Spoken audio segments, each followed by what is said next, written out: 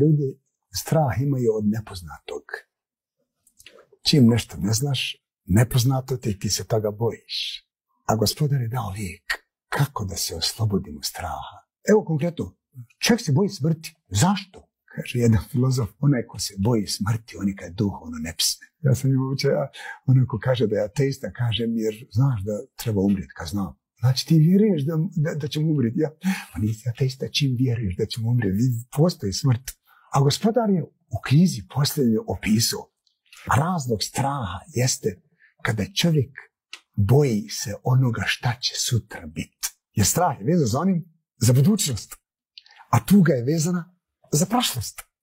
A gospodar kada opisuje svoje vjernike, robove iskrene, on kaže, oni ne strahuju za onim šta će biti i ne tuguju za onim šta je bilo.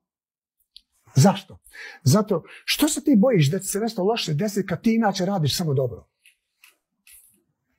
Znate, ono, ima plastičan primjer. Kad neko pokuca na vrata, ako inače ne zna šta radi, radi sve što negativno, ono, kaže, vidi ko je, što boji se da nije onaj da što je uradio loše.